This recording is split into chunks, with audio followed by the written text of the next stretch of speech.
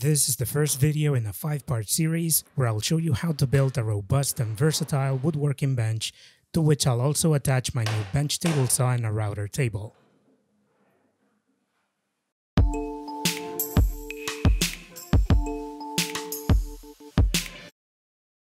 This is the 3D SketchUp file included in the plans, available on my website.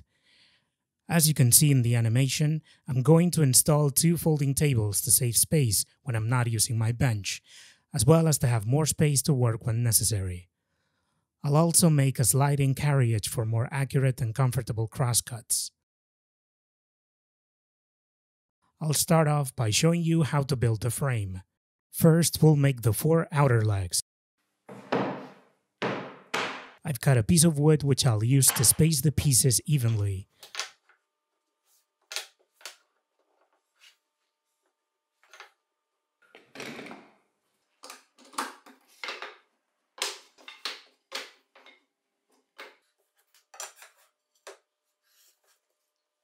Apply glue on the wood and use nails to secure the pieces.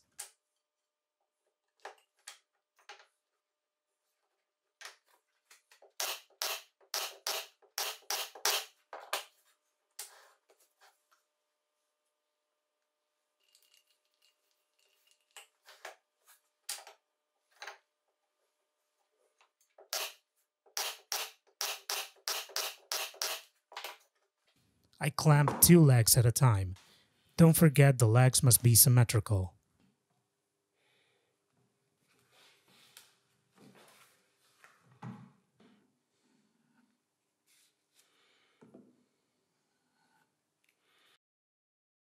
Now I'll move on to the four inner legs. I follow the same steps as when I build the outer legs to make tenons and mortises, but these are a little different. In order to make the assembly process easier, I ordered cut-to-size frame pieces and cabinets in the same place where I bought the board. If you want to do this project and you already have a bench saw, you can cut them yourself at home.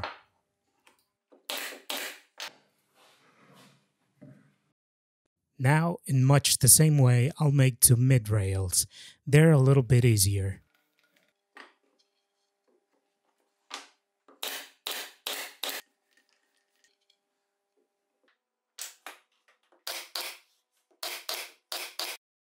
Next, I'll mark the two top rails on the right side, where the router will go.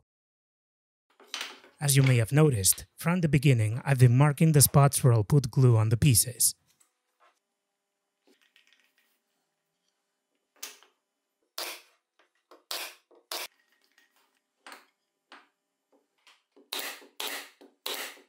Now I'll make the top rail for the left side, where I'll place the sliding carriage.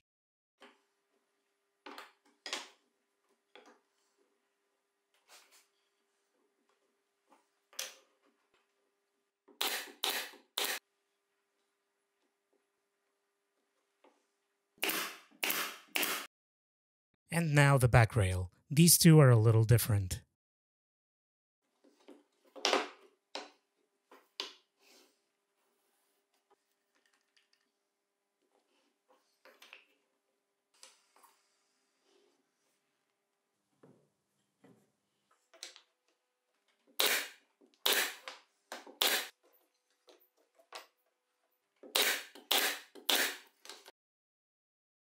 Lastly, I'll make two long bottom rails. First, I'll make sure all the pieces are the right size.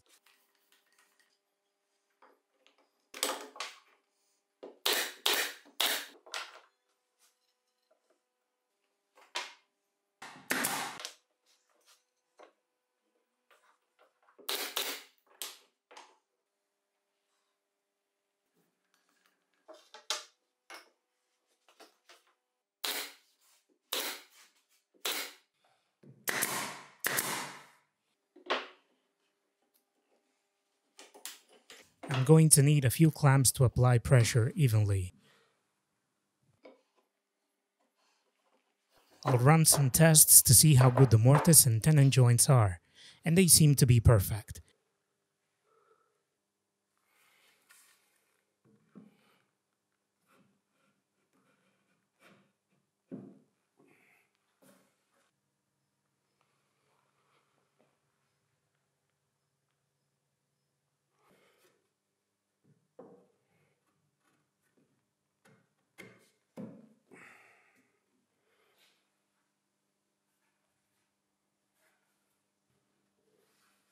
With a hand plane, I correct the inner rebate of some of the legs which needed it.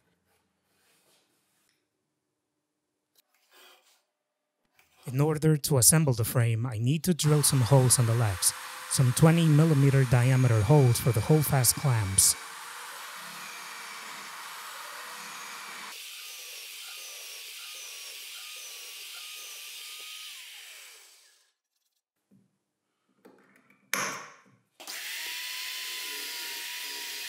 And some more holes for the folding table axis on the left side.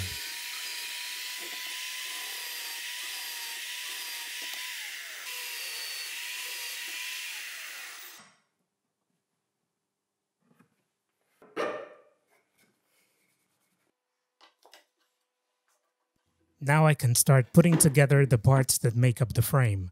I'll do this bit by bit, joining one of the long bottom rails with the two legs and the short top rail.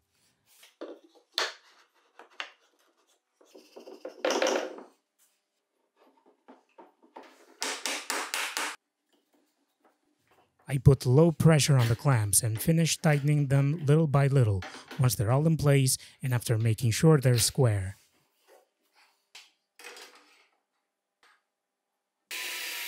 Once the glue is dry, I turn the frame to glue the mid-rail on. First I drill some holes for some dowels that will strengthen the bond.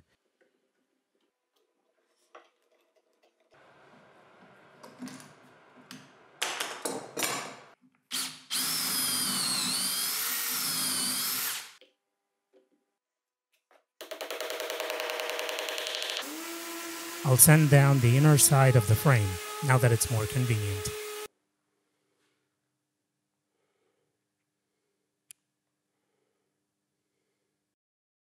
Now on to the inner cabinets. First of all, I'll make sure the pieces are the proper size by inserting them into the frame rebates.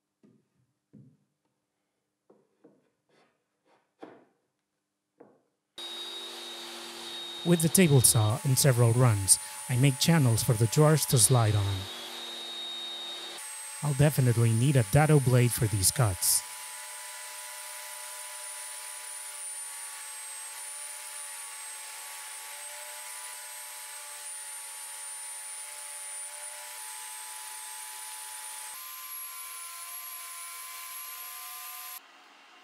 In the SketchUp design, I joined the cabinets with screws. This works fine, but in my case, I'll use some biscuits.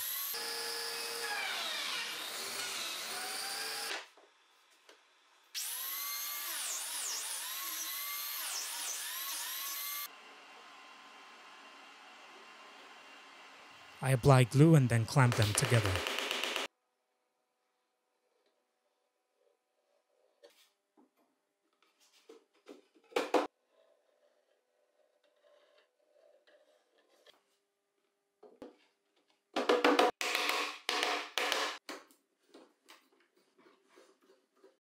Now I'll follow the same steps with the router cabinet. In the cabinet, the top piece is lower, at medium height more or less. Before putting this cabinet together, I cut a notch on the outer side so that I can later add a power switch.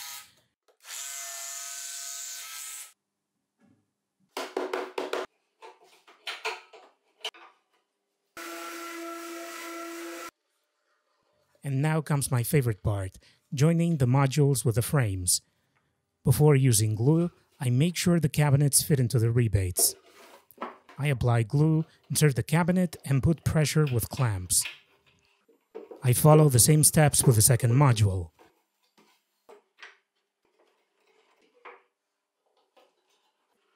Once the glue is dry, I can glue the second frame part on. This time I have to glue on two modules at the same time.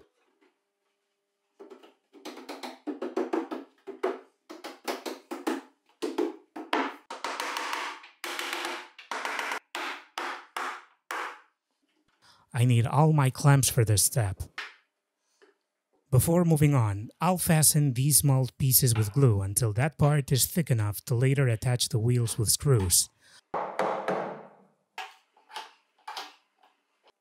I'll also glue another piece like this one in the middle of the bottom of the frame. Once the glue is dry, I smooth down all the frame joints with a hand plane. With a saw and a chisel, I make channels for the drawers in the front of the frame.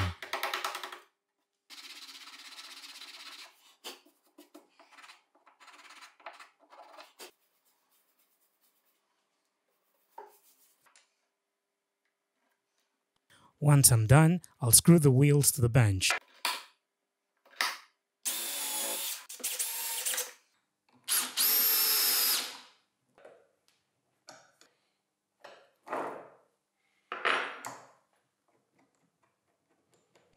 I only have four wheels in the shop. I'll add the two middle ones later on if necessary. And also some metal plates to reinforce the bottom shelf.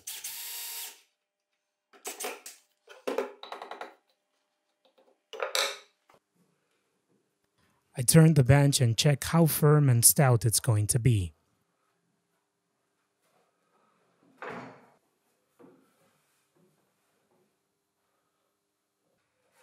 Now I make some recesses to the central shelf where I will be placing the bench table saw.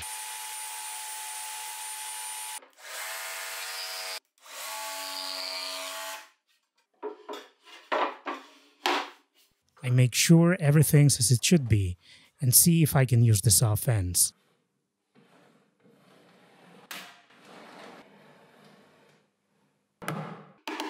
Now is also a good time to finish the electrical installation. It's quite simple. I'll use a power strip and an emergency paddle switch.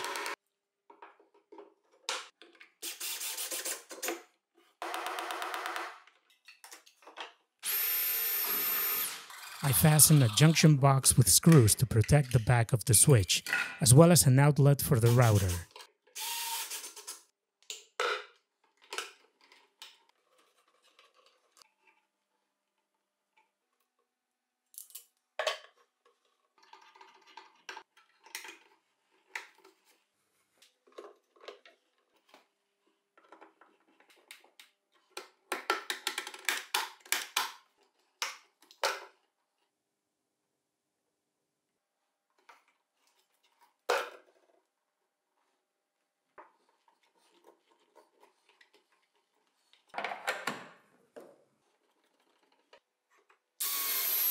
After screwing a power strip to the bench and checking all the connections, I make sure everything's working correctly.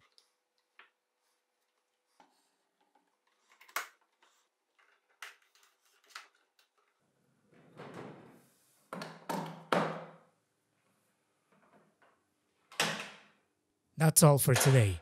In a few days I'll upload the second video, where I'll be showing you how to make a sliding carriage.